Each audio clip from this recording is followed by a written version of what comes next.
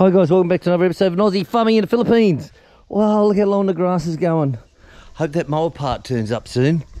Goat naming, we missed out yesterday. It wasn't feeling well, so um, we put it off to today.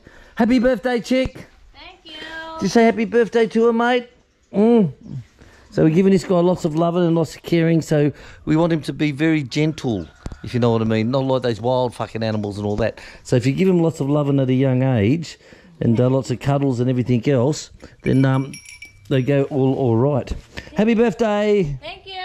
So Chic's birthday today, guys. So uh, we'll do the name calling at five o'clock today.